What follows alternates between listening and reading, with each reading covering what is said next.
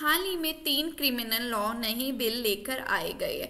आई, जानते हैं हम उनके बारे में विस्तार से कि क्या क्या नए कानून आए हैं और किस किस कानून के अंडर आए हैं।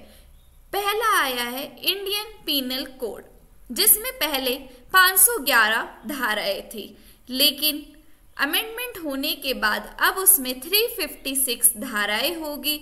175 धाराओं में बदलाव हुए हैं। आठ नई धाराएँ जोड़ी गई है और 22 धाराओं को खत्म कर दिया गया है। अब हम देखते हैं वो अपराध जिनकी सजा से जुड़ा हुआ है ये एक्ट। इस बिल में आईपीसी के बहुत सारे प्रावधान शामिल किए गए हैं, लेकिन सजा के तौर पर कम्युनिटी सर्विस का एक नया प्रावधान जोड़ा गया है।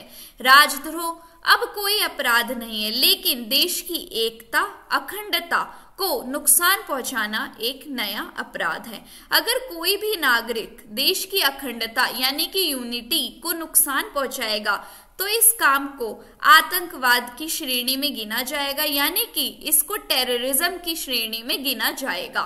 इस बिल में छोटे मोटे संगठित हमलों को भी गंभीर अपराध की श्रेणी में गिना जाएगा। यानी कि पैटी ऑफेंसेस कुछ थे, उनको भी अब इसमें मेन ऑफेंस में गिना जाएगा।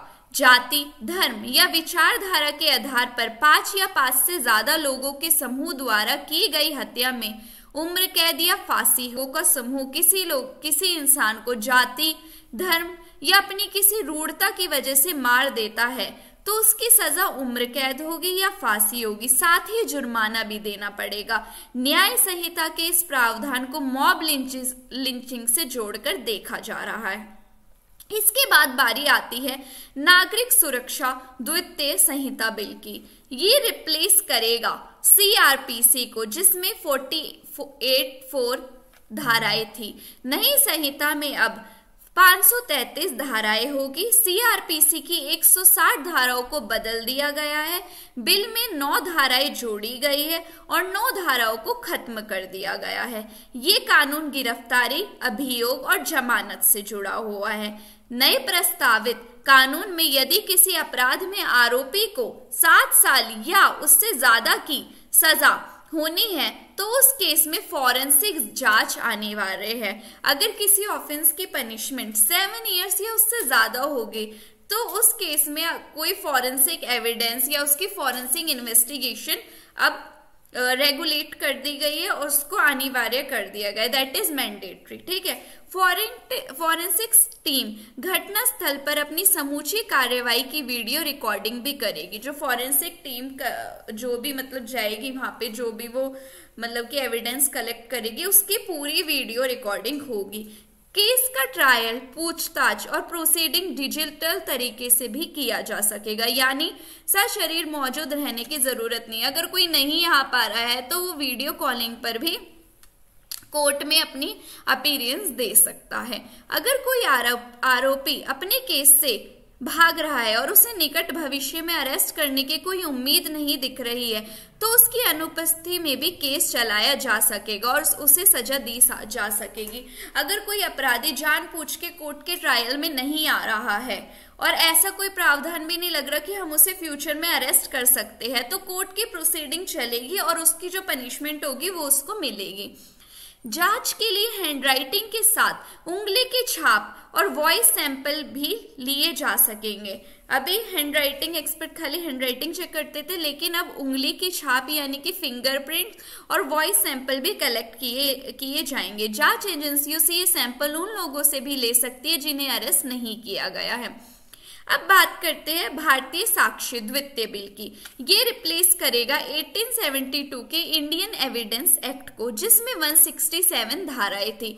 नए कानून में 170 धाराएँ होगी। इसके बाद तेईस धाराओं में बदलाव किया गया है। एक नई धारा जोड़ी गई है और पाँच धाराएँ निरस्त की गई है। ये कानून किसी अपराध के सबूत कन्वेंशन और तथ्य से जुड़ा हुआ है। नई संहिता डिजिटल रिकॉर्ड को भी डॉक्यूमेंट में जोड़ती है।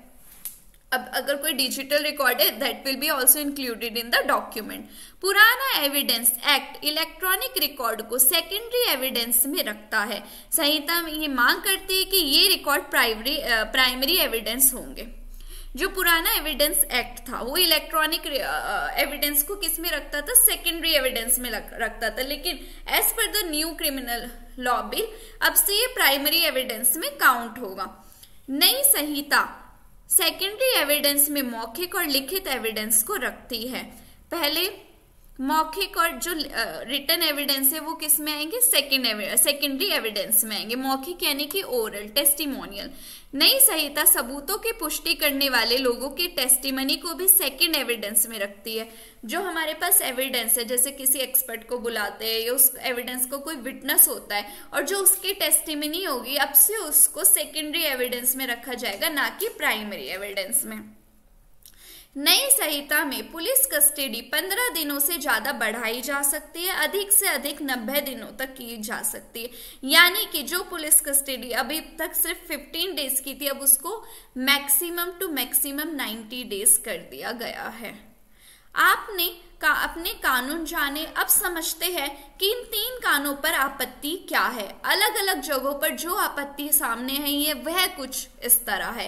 राजद्रोह जैसे गंभीर अपराध के लिए सजा खत्म कर दी गई। अब राजद्रोह पे नहीं है। अगर आप इंडिया की इंटीग्रिटी यूनिटी को डिस्ट्रॉय करते हैं तो that will be a offence किसी भी अपराध को देश की अखंडता पर हमले की तरह देखा जा सकेगा और उसे आतंकवाद की घटना की तरह देखा जाएगा।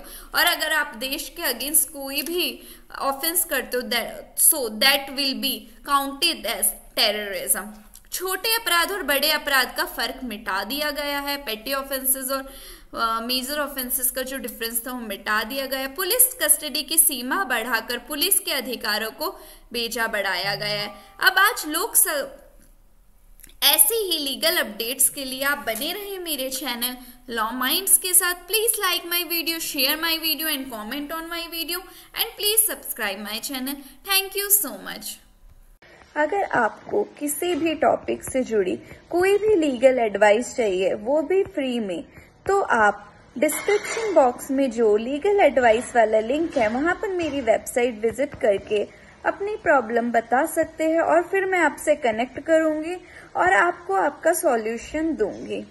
और ऐसे ही लीगल अपडेट्स के लिए बने रहे मेरे चैनल लॉ माइंड्स के साथ। Please like my video share my video and comment on my video and please subscribe my channel thank you so much